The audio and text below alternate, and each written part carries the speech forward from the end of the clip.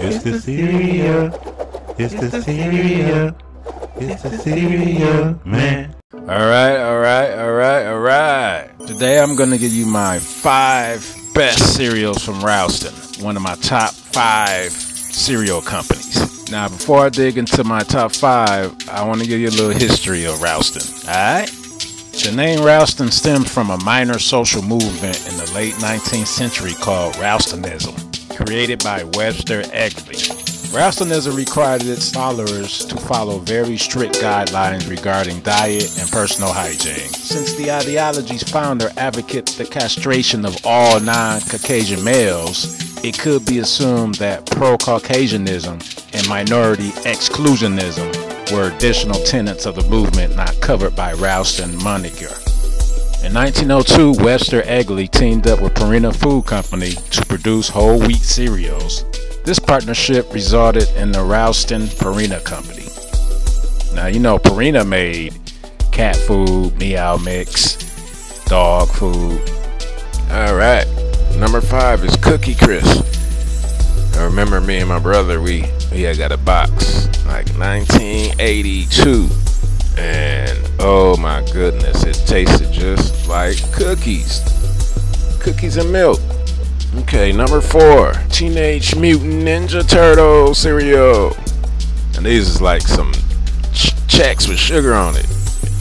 Plus, they had the marshmallows, so they complemented each other. They just take, they had a great crunch. And yeah, f- fulfilling for your mouth. Next, we got Blueberry Waffles. I remember this in like 81 we had some, and and they got the little blue specks on them. The crunch crunch was good and soft too fast. And it's just that flavor they had. It's it was they mastered it, it the blueberry flavor best blueberry cereal there was for real. Next we got fruity island cereal.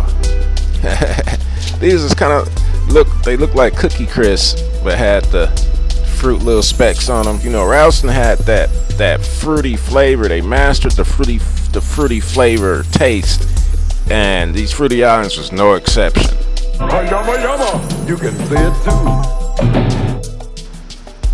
Donkey Kong Jr. cereal, man. My, my one of my favorite. This is in my top three cereals of all time. Donkey Kong Jr. Just just that fruit flavor again. It was different than Fruity Islands, but it was just just the bananas and the little balls, little fruit punch balls or whatever it was, just that, that fruity flavor, you know, you never got a chance to see if they saw it because the cereal was that good. You couldn't stop eating them. Jeez.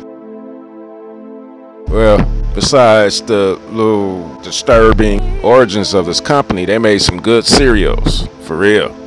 Well, come back next week to the Cereal Man.